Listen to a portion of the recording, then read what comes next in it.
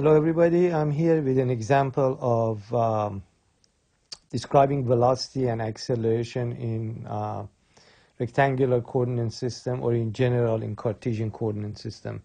So here we have this uh, particle that is traveling along a curved path here. So this is our particle traveling along a path whose uh, profile is defined by this parabola y equal 0.5 x squared.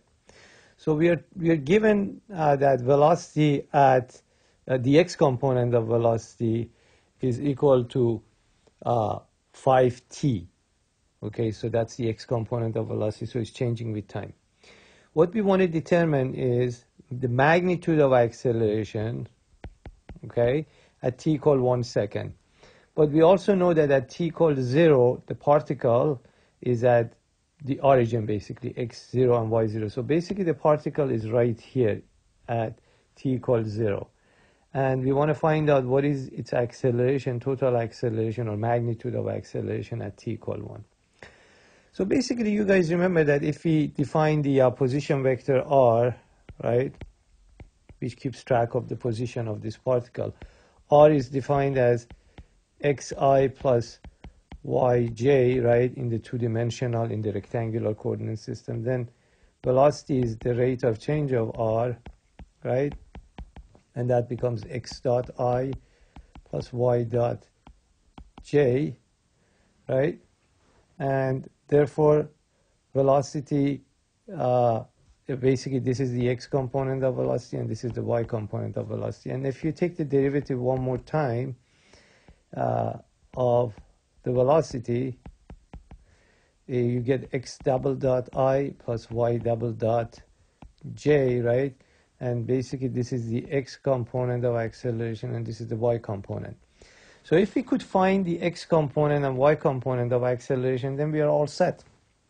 All we have to do is to uh, find the magnitude of acceleration. So finding the x component of velocities uh, acceleration is very easy because ax basically is the derivative of the x component of velocity. You see that?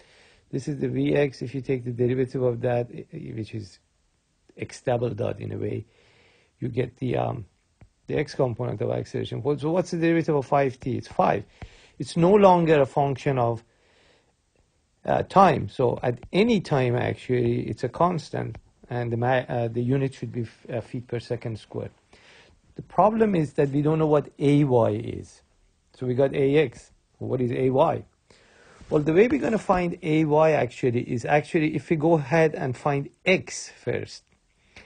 In other words, you see how if you happen to know Vx, what is x? x is the integral of Vx.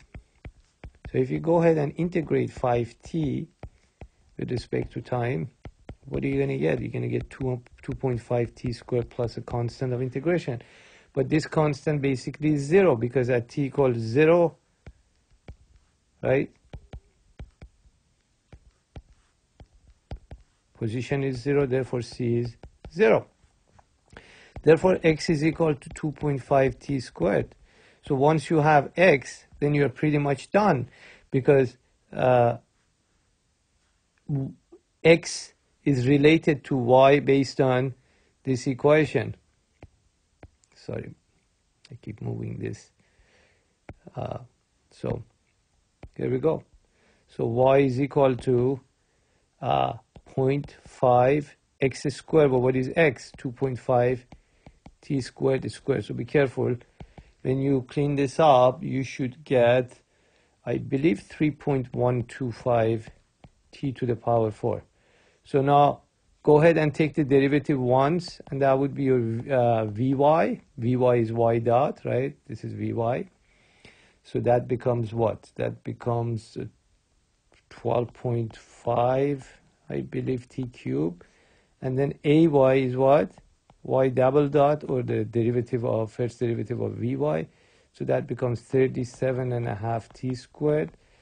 Then plug in t equal 1, when t is 1 you just end up getting 37.5 feet per second squared. So now you have the x component of acceleration and y component of acceleration. Here's the x component, here's the y component. you have the total acceleration square root of ax squared plus ay squared, which is simply uh, 5 squared plus 37.5 squared, which actually comes out to be very close to the 37 because the other component is very small, 37.83 unit feet per second squared. So basically at this instant, if, if we say this is t equal 1, for example, right, uh, you have an x component of acceleration which is very small, 5. Your y component is, is more like more than seven and a half, seven times. So the y component is much larger. And then your acceleration will look like this.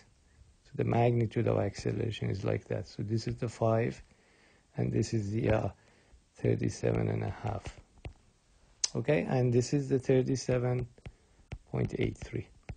Okay, uh, thanks for watching and listening. If you like these videos, just subscribe, please, and uh, we'll have more examples coming up. Again, thank you very much. Have a good day.